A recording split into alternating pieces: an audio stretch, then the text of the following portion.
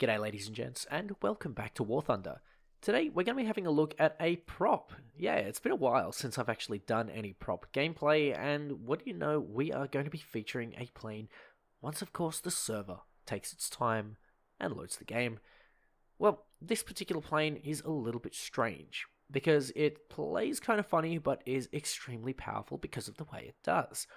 This is the, wait for it to load, the XP50. I'm I'm not going to wait for it to load because servers are perfect and statistics will tell you that it is a you problem, guys. Remember that. That's that's what Gaijin will tell you. Anyway, jokes aside, we're going to be having a look at the XP50 and once again, while this loads, we're going to be talking sort of about this plane it having a funny playstyle. Of course, you get yourself a nice little, uh, I guess, interceptor spawn because you have two engines, but one of the funny things about this plane is that it climbs really well. It's uh, really good in that circumstance, and because it climbs so well, you can get above your opponents very easily. Now, climbing at prop tier, and even at jet tier in some circumstances, is your bread and butter. Climbing altitude gives you everything that you need. It gives you a sort of storage, a little bank account, if you will, of speed and altitude that you can use later. And having two engines, and the engines basically being, what, 10 20% of the airframe, uh, is a bit of an advantage because you have just two big chonkers pulling you through the air. And of course, with this particular design, I don't know what it is, it might also be the air spawn you get along with it, but you do get a fair altitude advantage, and this makes the plane extremely easy to play, particularly at prop tier, where altitude is quite literally your lifeblood. If you can get above your opponent in any engagement, it doesn't matter what plane you are flying, you are likely going to be having a good time compared to if you didn't. And so what I'm doing here is I'm literally just climbing into the enemies. The aim here for the XP50 is to just climb in and try and get as many opponents that are either still climbing or are going to climb up to you. And of course, if you're first in the battlefield and you're the highest, you're going to be the one that the enemies focus on, and so whilst they dogfight or try and pitch up losing their energy for you, your allies and your teammates can sort of go in and yoink some kills, which, whilst that isn't as great for you, it still gives you a fair good time. And of course, it increases your overall victories, it increases your efficacy in battle, and of course, it makes you a better player because, of course, you're helping out your team, you're being a better team player. So you can see from the footage here in the background that we are dealing with a fair few heavy fighters.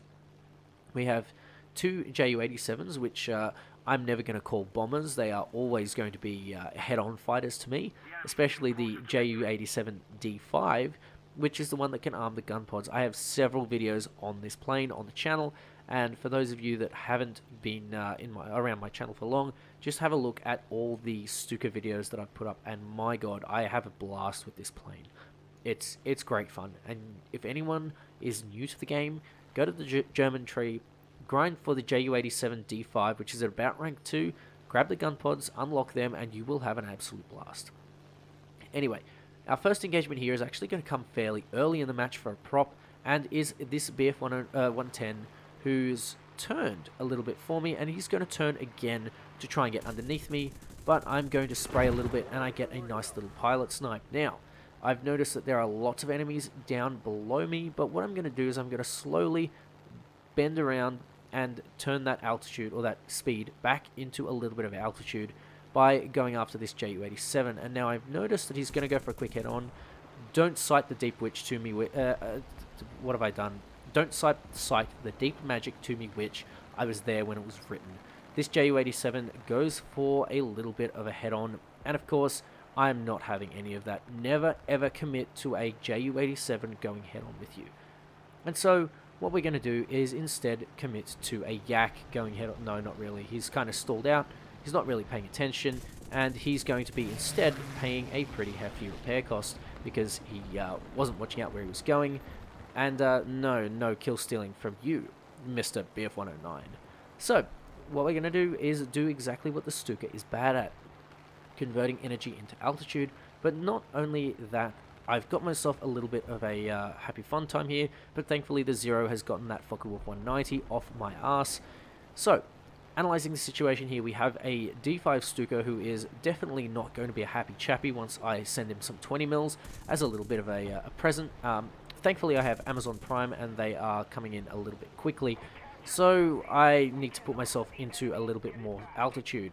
I notice a BF-110 above and a BF-109 closing in very rapidly. I could be a BF-109 F4, but I don't really know at this stage, so I'm going to try and get away from it, try and put myself into a climb, but unfortunately, he's paying a little bit of attention towards me, and so I think I need to try some defensive flying. I'm going to put the plane into a left-hand turn and then go over, and then change my course, and then try and avoid him again, twiddle my wings a little bit, just trying my best to maybe make him follow and then stall out. Now notice that I'm trying to keep my wings at 90 degrees to him.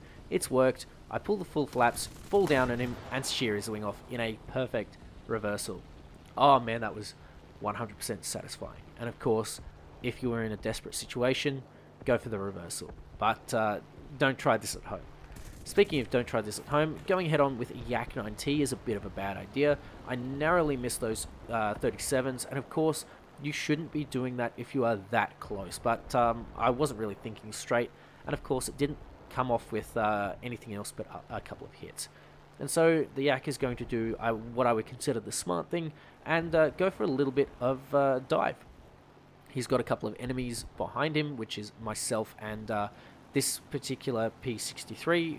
I'm pretty sure is sort of sticking around me like the plague for some reason. I'm not, not quite sure. Maybe he knows me, but uh, he seemed to...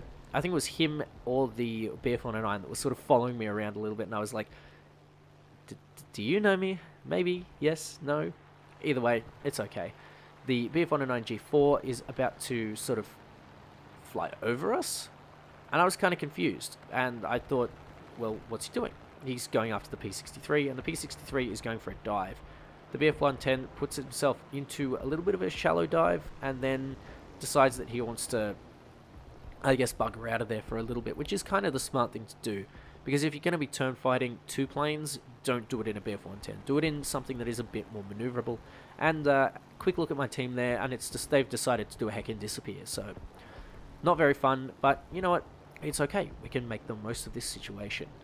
BF, BF-110 is looking pretty juicy, but the TIS MA is becoming more and more of a threat as it gets in. And remember, the TIS MA has several good guns head-on, and I don't really want to deal with that. So what I'm doing is I'm trying to get him to turn as much as possible and waste as much energy as possible. And he's sort of doing it, and then I realize he's going to go head on. And I really don't like people when they do a late head on, but that's okay. I've pulled away and I've gone for a vertical, and the TIS MA is now in a really bad situation. The BF-110 is thoroughly engaged with the P-63, and whilst he's going to come back towards me and give me a little bit of trouble, it's very, very easy to dodge the BF-109, uh, BF-110 because I can just pull so damn hard. I think he's got Schrägmusik guns, and I think he has gone for that. So I'm going to stick on him while the TIS MA destroys the P63, leaving me in a sticky 2v1 situation. I have run out of 20mm cannons, and the G4 is trying very desperately to get some guns on with the rear gunner. He manages to strike my engine cowling, but doesn't do any damage to the engine itself, which is very, very good for me. Twin engine fighters are pretty bad when you only run them on a single engine. It basically becomes extra dead weight that you don't need. I almost hit a balloon there, which I only realized now that I've gone through the footage again. And of course, I'm hitting my speed limit here, which means that I need to convert my altitude into, or my speed into altitude. Once again, I'm going to go for a very aggressive conversion because if I go too far up, then that means that he is going to find a window of opportunity to sneak away, which is exactly what he's trying to do. But because I managed to cut my turn quite short, I am going to be going in and trying my luck. Now, I think the TIS MA has a Berenzin, Beren, Berenzin? A, a 12.7 on the uh, on, on the back. And so I need to be careful that I don't damage my engine any further because I only have two. And like I said, an extra engine that is uh, sort of not working is a bit of dead weight. But thankfully for me, I knocked the pilot clean out, giving me an ace which is very lovely indeed. But, you know, we don't like aces on this channel. Aces are boring, so we're going to be going for the 7k if we can get it. we have another P63 to replace the one that came earlier, but this one is a newer, shinier C5 variant, as you can tell because it is a French one. So, what do we do here in this situation? There's an IL-2 and there's a Yak-9, and they're both gaining a little bit of distance, or the Yak is gaining a bit of distance. I'm losing engine power, and I don't want to be fighting over the enemy airfield. Well, I'm going to convert as much as I can into altitude, try and get myself a little bit of an advantage here, and then when I realize that uh, I don't really think that running away is going to work, and as the P63 comes overhead, as you can hear him, I'm going to go straight towards him. Now, I'm pretty sure he is the Yak-9T, which means that I need to be super careful. He's kind of going for like a kind of sort of head-on and then decides to nope out of it the last second. So I'm going to commit to the Yak-9T. Now, I didn't realize this at the time, but the IL-2 has taken off and more than gotten enough distance to get close to engaging me. So I'm going to quickly spray and get a crit on this Yak 9T. And I'm going to start in any second now hearing the IL-2. And there he goes. He's going to start spraying at me. So I'm going to produce as small a profile as I can and pitch right up because I know he can't pitch up any further because he's basically stalling out at this point. Chuck my landing flaps or my takeoff flaps all the way down. And I'm going to overshoot him because I'm just going that fast. Picking up that much energy in a dive. The IL-2, once it loses its energy, it really seems to struggle with its speed. Now, this is the IL-2 1942, and so it does not have a rear gunner, which means he is up shit creek without a paddle, and it looks like he is without oil.